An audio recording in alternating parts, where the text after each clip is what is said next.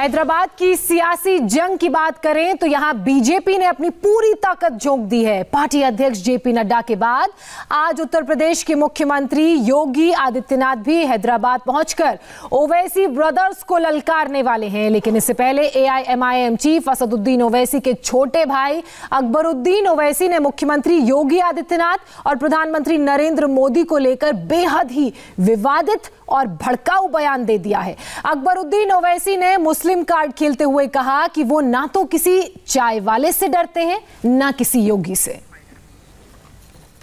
कलमा पढ़ने वाला मुसलमान हूँ। किसी के बाप से डरने वाला नहीं।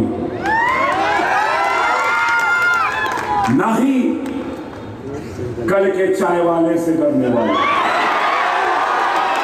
ना ही कोई योगी खोगी से डरने वाले हैं।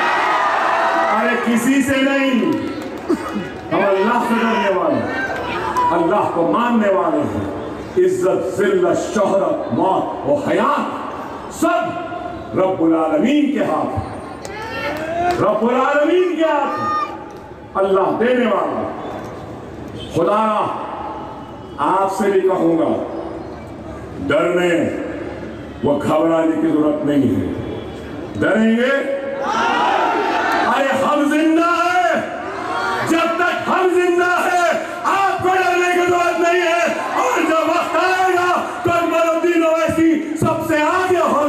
अपना सीरा पेश करेगा, अपने पे गोली लेगा, पहले खुद मरेगा और अपनी लाश पर मिल्लत को खड़ाएगा मिल्लत की लाश पे खड़े होकर हयादत करने वालों का नाम मजलिस इत्तेहाद मुस्लिमीन नहीं है।